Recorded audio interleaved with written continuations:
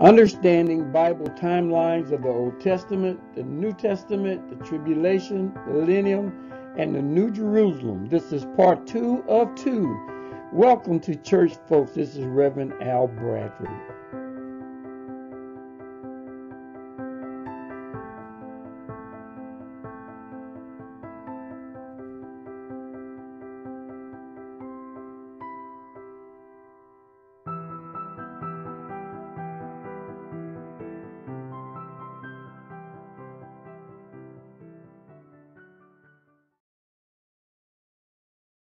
In this continuation of my Bible uh, timeline, as you see here, we have traveled from 4000 BC all the way up to the present time, which is during the church age.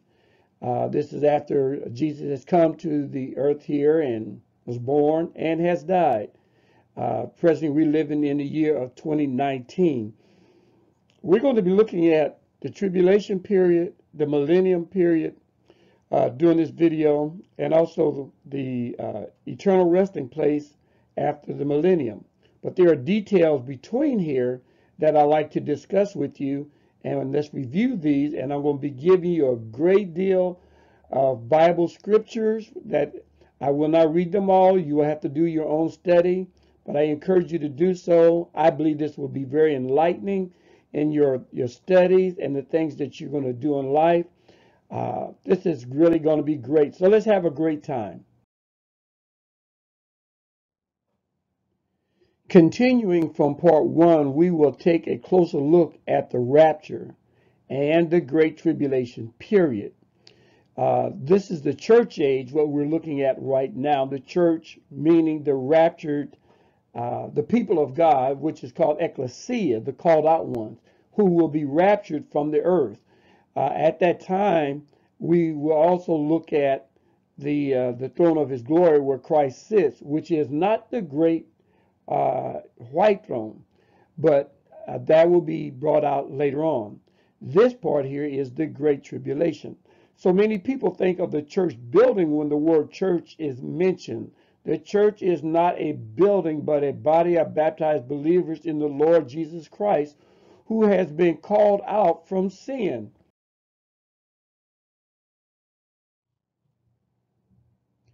During the time of the rapture, which is still yet future, this is what we're looking at here.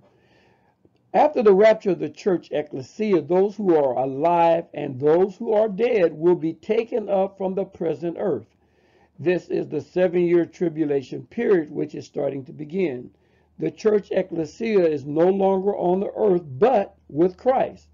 Not all theologians take this position and believe that the church ecclesia will go through the tribulation periods. I personally do not believe the church will go through the tribulation, and I do believe and follow the Moody Bible Institute teachings on this matter, which is D.L. Moody uh, 1886.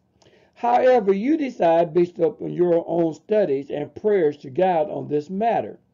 Christ meets the raptured church at the onset of the rapture. We will find some of this in 1 Thessalonians the fourth chapter, 13 through the 18th verse, to meet the Lord in the air. Also, we'll look at ecclesia believers are before the judgment seat of Christ. 1 Corinthians, the third chapter, verses 11 through 15. 2 uh, Corinthians, fifth chapter, the 10th verse. Also, during this time, you can find the information about the marriage feast. During this time of the rapture, those who remain stay on earth without the church ecclesia. The church will be gone. And you can imagine what it would be like without the love of Christ and his people on earth. The beast, the false prophets, and the Antichrist, Antichrist will dwell on earth. Gross immorality flourishes on earth during the tribulation period. We'll find information about uh, Israel's blindness in Romans 11 27. We'll find the mystery of iniquity, Second Thessalonians, the second chapter, verses 7 through 9. We will also examine this time period in Revelation 17, verses 3 to 5, Revelations 21, verses 9 through 10. These will all be during the tribulation time where the church has been raptured out from the world up in heaven with Christ. During this time of the rapture, you will find Bible verses about the Great Tribulation here.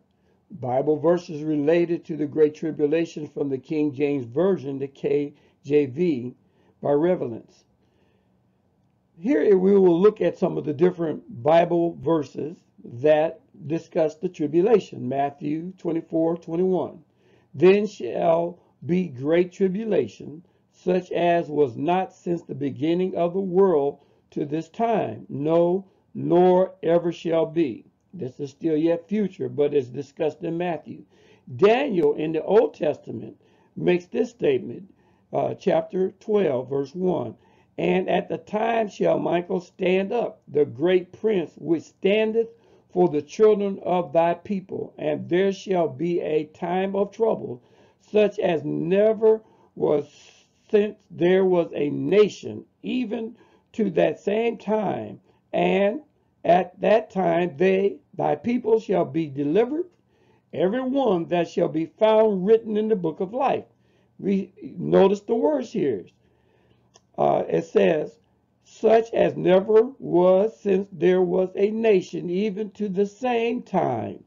And at that time thy people shall be delivered, every one that shall be found written in the book of life. Those are the ones who will be raptured up into the air with Christ, being removed from the earth prior to the start of the tribulation time. Now, Matthew, the 24th chapter, verse 29. Immediately after the tribulation of those days shall the sun be darkened, and the moon shall not give her light, and the stars shall fall from heaven, and the powers of the heavens shall be shaken. Verse number 22 of Matthew 24.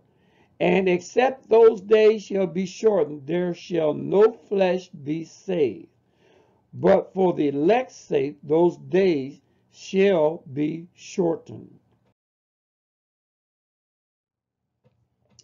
Now in Revelations chapter 7, verse 14, And I said unto him, Sir, thou knowest.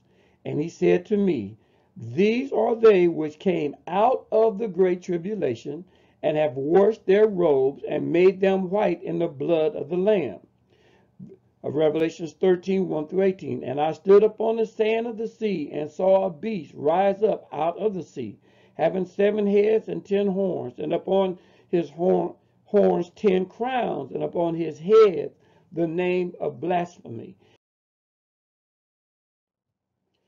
Now, if we go back to the Old Testament and see what Daniel has to say.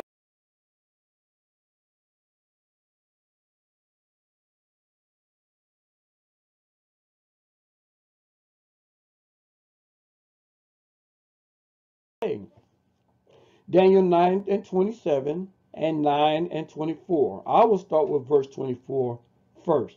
70 weeks are determined upon thy people and upon thy holy city to finish the transgressions and to make an end of sins and to make reconciliation for iniquity and to bring in everlasting righteousness and to seal up the vision and prophecy and to anoint uh, the most holy. Verse 27 And he shall confirm the covenant with many for one week, and in the midst of the week he shall cause the sacrifice and the oblation to cease. And for the overspreading of abominations, he shall make it desolate. Now, Mark 13, even unto the back the New Testament, verses 1 and that day 37 I recommend to read, but I'm going to read this one. The and as he went to the, the temple, one of his disciples said unto him, Master, see what manner of stones and what buildings are here. They were trying to get Christ to explain this because they were not yet understanding the uh, the future, the prophecy of what Christ was talking about when he came to the building. Read that entire chapter and you will be enlightened on that as well. Revelations 13 and 5. And there was given unto him a mouth speaking great things and blasphemies, and power was given unto him to continue forty and two months. Read Revelations 13 and 5. Now, these topics and verses are auto generated from uh, users' researches, so they were not in, in specific order.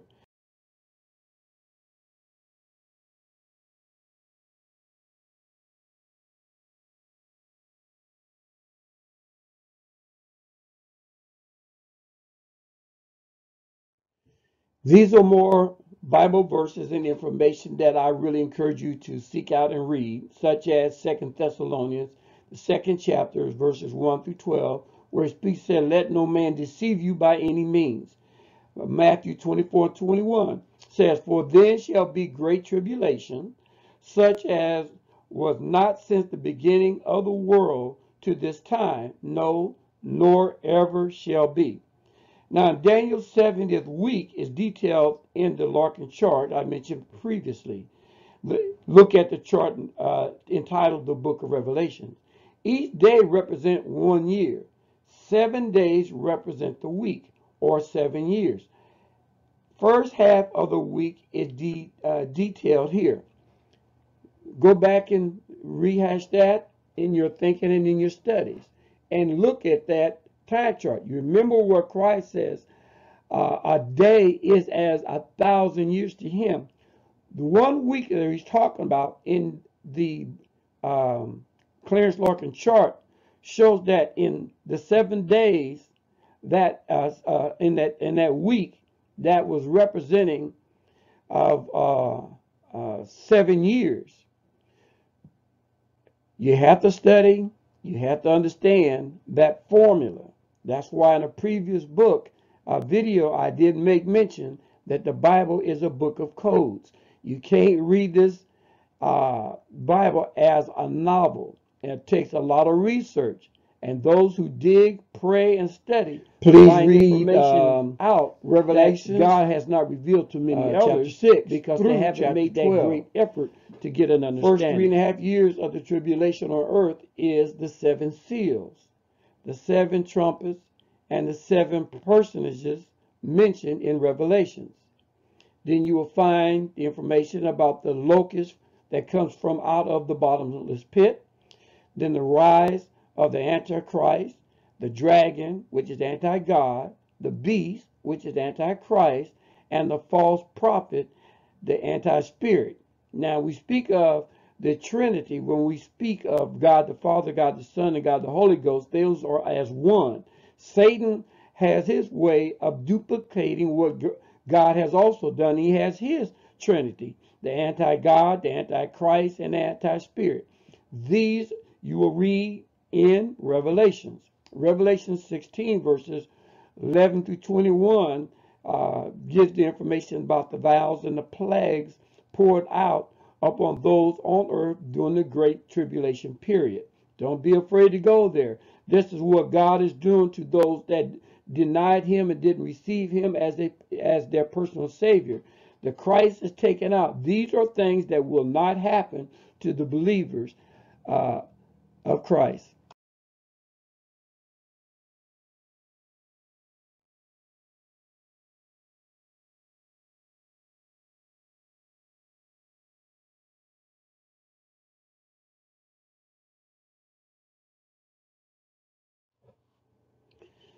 The middle of the week, find the three we'll messenger, in heaven, angel messenger, last three and a half the seven vials poured out upon those on earth. 14 through chapter. Look at the Armageddon.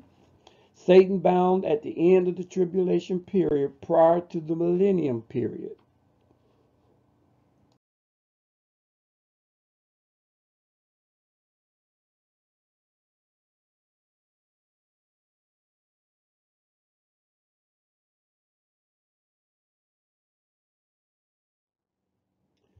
During this time, God had to deal with the children of Israel for seven years. Remembering Israel did not accept Jesus Christ as the Messiah. They, the children and grandchildren of the nation of Israel, will go through the tribulation period without choice because they deny Christ and will suffer through the tribulation because of it. These are very troubled In Deuteronomy, times they will have to 4 endure. chapter the 39th Not only them, Moses but those who were not caught up in the rapture turn to will likewise share those horrible times of God's wrath. scripture looking forward toward the history. Jeremiah 30 describes this period. Many people know it as Jacob's trouble, also his dream. Daniel 12 1 And her shall be a time of trouble to punish the Gentiles. Who is the Gentiles? Isaiah 24 and Jeremiah 25, verses 30, describes this period. Good reading and good studying. This, this time of difficulty is to prepare Israel for the Messiah. Uh, Jesus said, He who endures, endures to the end shall be saved. That's Matthew 24 13.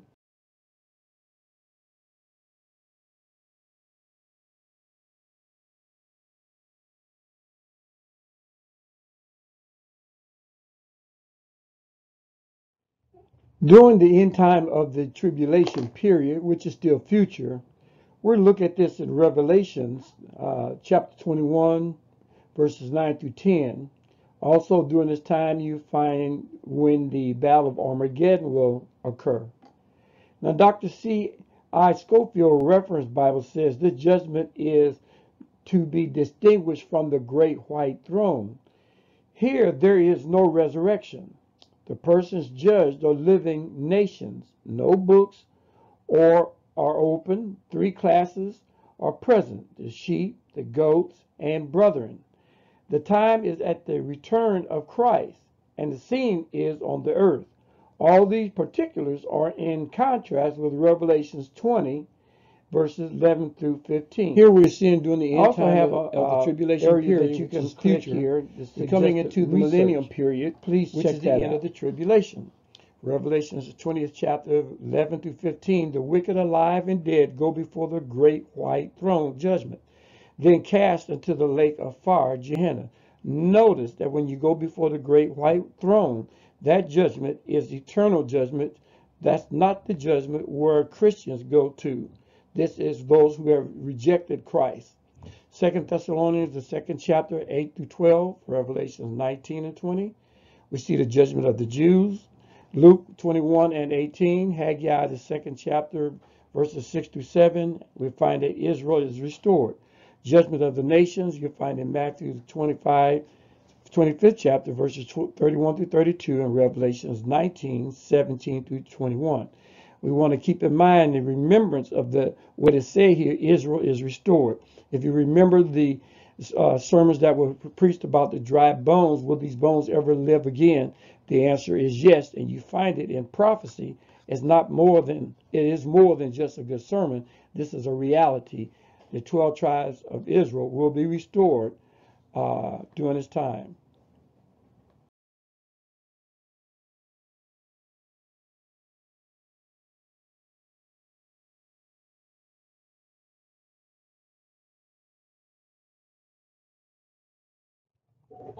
The millennial period is a time of great joy, living with our Lord and Savior Jesus Christ in total peace without the interference of Satan. Satan will be cast into the millennial period, which is also also known as the kingdom. We find this in Micah, the fourth chapter, verses 1 through 4, where it mentions there will be no more wars.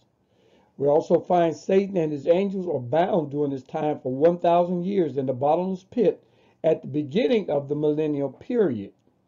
Jude chapter 1, verse 6, 2 Peter uh, chapter 3, verse 6, the angels that sin are reserved unto judgment. This is at the end of the millennium. Presently, the fallen angels are in a place as we refer to as Tartarus, where they are being held all the way back during the time of their fall. They will be in that area, which is in the underworld, all the way through the church age, the, the tribulation period, and the millennium period. They will go before the judgment seat, uh, the great white throne judgment, which you find in Revelations, the 20th chapter. After that judgment, all of them will be cast into the lake of fire, including Satan, which is the Gehenna.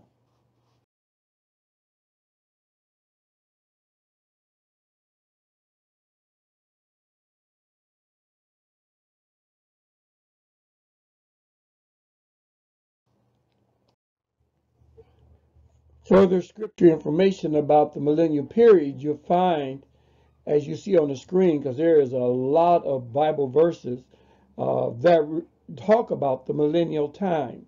The word millennial is a Latin word for 1,000 years. So when we read in these different areas, as you see in Daniel, Isaiah, Psalms, Ezekiel, uh, Zechariah, all of those are during the Old Testament time but they were speaking in prophecy of what was yet to come towards the end time. The New Testament you will find it covered in Matthew, Luke, First Thessalonians, and Revelations. These chapters also reflect uh, uh, looking at the millennial period as they're speaking to. So when we study and, and we use these chapters and verse, we must not get these chapters, these uh, uh, Bible verses, none of these mixed up with any other thoughts and terminology, or it will become confusing. You'll find also in 1 Corinthians, the sixth chapter, verses 2 to 3, it speaks that the saints will judge this millennial world. This is a time where all Christians who have already gone before the judgment seat of Christ, where they were rewarded for what they have done, they will be on the, in the earth during the millennial time where there be perfect peace without Satan. Micah 4 1 through 4 says there be no more wars. Revelations 20 says the entire during this millennial period Israel is in the position as Isaiah the head of nations and people for 1,000 years. Deuteronomy will stop killing one another. Chapter 13 verse says Jews become the head of the nations. Although Old Testament scripture speaking, looking toward the future in prophecy, of what will happen. Only God can take the minds of people.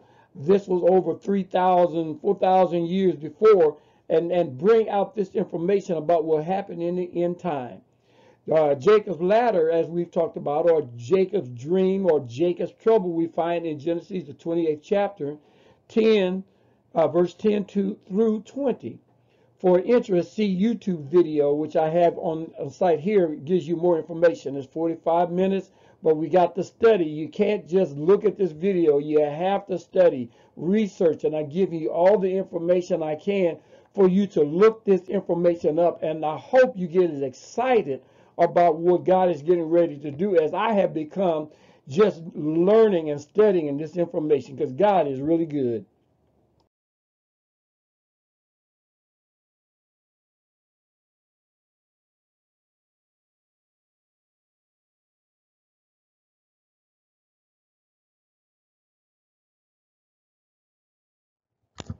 You also find in Revelation 20, verses 7 through 9, after the thousand years Satan was loosed, he shall deceive the nations, Gog and Magog, and Satan together, gather uh, for battle. But God stepped in. Fire came down from God out Revelations of heaven 20, 14, and devoured and them. 15, the beast, and death and hell, false prophets, were cast and into the, the lake of fire. Thank torment and night, is the second day and death. night, forever. Second Peter, third chapter, sixth verse. The angels that sinned were, and were reserved unto this judgment. So they likewise will be cast into this judgment of the lake of fire, Gehenna. Now moving into the renovation of the earth by fire, we'll look at these scriptures. After God has gotten rid of Satan, all the, the devils and the uh, the fallen angels, all those that opposed him, didn't believe in him, he has already done sent them to everlasting eternity in, in the punishment. Now he's getting ready to renovate the earth for a new Jerusalem. Let's look at this first. Second Peter, the, the third chapter, verses 1 through 18, and third chapter, verse 8. The heavens will pass away with a loud noise. Malachi 4 and 1. The day is coming Revelations 21, 1 through 27, a new heaven and a new earth. Luke 12, 49, I am come to send fire on the earth. Revelations 20 and 11, the great white throne judgment, which just ended, where Satan and all of them have been judged. Isaiah 34, 4, and all the host of heaven shall be dissolved. Praise the Lord. God is getting ready to bring a change.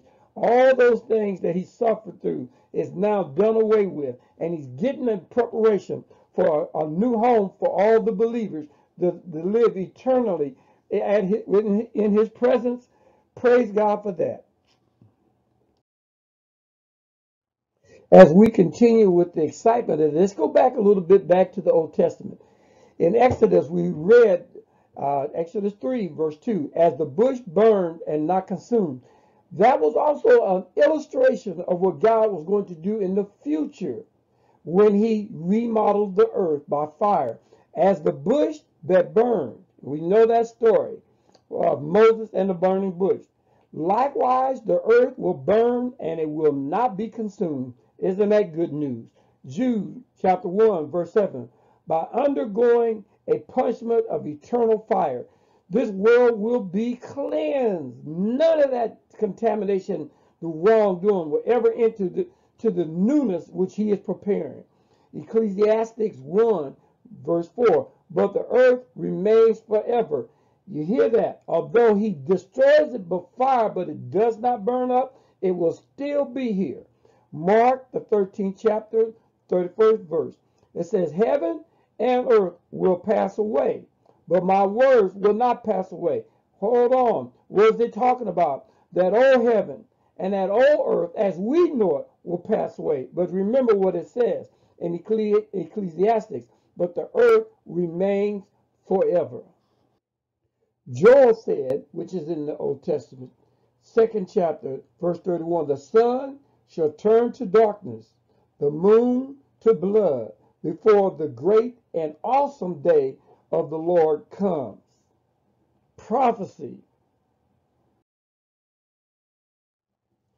In this new time of God creating a new heaven and a new earth, we find the same situation in the beginning. Genesis 1 and 1. God recreates the heavens and the earth.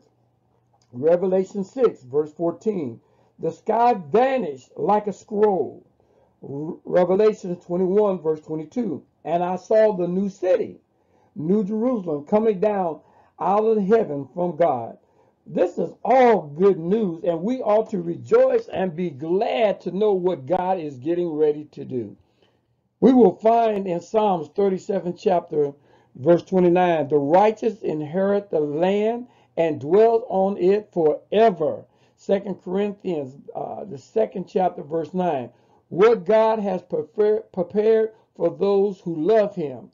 This is Old Testament and New Testament agreeing about prophecy of what's getting ready to happen in the future. Once again, this is good news talking about what God is going to do for his own people. And here John is still talking about the things that he saw. Revelations 21, verses 1 through 6. The first heaven and the first earth passed away, and I saw the holy city, that new Jerusalem, coming down out of heaven from God. That's good news. Revelations 21, verses 9 through 14. The bride of the Lamb. This is where we talk about the 12 gates and the 12 tribes. That's talking about what he has done all those years prior to this with his chosen people. He's bringing them into the the the everlasting life on the in the New Jerusalem. We ought to be excited and happy about that because we're going to be partakers of that as well. Revelations 21 verse 16. The city is approximately 1,500 miles by 1,500 miles by 1,500 miles. That's square.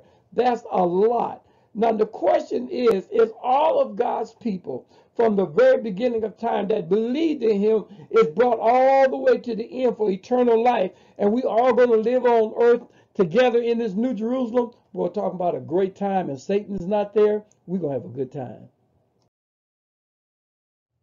Now, just in case you're still not feeling me, how we're talking about this in this everlasting life, let's look at Proverbs, the eighth chapter, verse 35, where it says, Whosoever findeth me findeth life. That's everlasting life. John 10, uh, verse 28 to 30. And I gave unto them eternal life. This is in the New Jerusalem. First John, second chapter, verse 17. The world passed away, and the lust thereof but he that doeth the will of God abideth forever. First John, fifth chapter, verse 11. God hath given to us eternal life through his Son.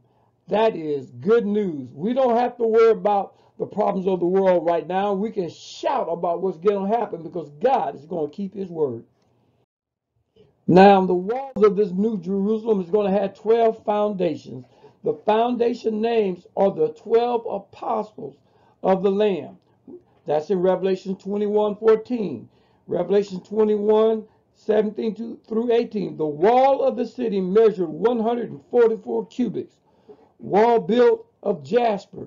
The city is pure gold, clear as glass. Revelations 22 1 through 2. The tree of life in the city.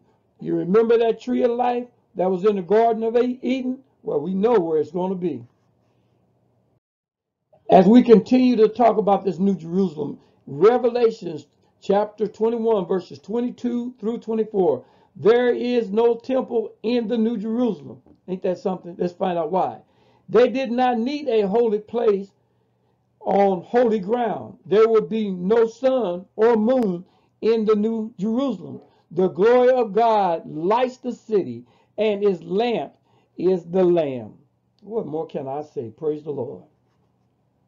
Now, the word of the Lord is this And I gave unto them eternal life, and they shall never perish, neither shall any man pluck them out of my hand. My Father, which gave them to me, is greater than all, and no man is able to pluck them out of my Father's hand. I and my Father are one. That is John 10, 28 through verse 30. Now that we're at the end of the story, we shall have everlasting life in the Lord and Savior Jesus Christ. This is what we're preparing for now. We're going to win in the end.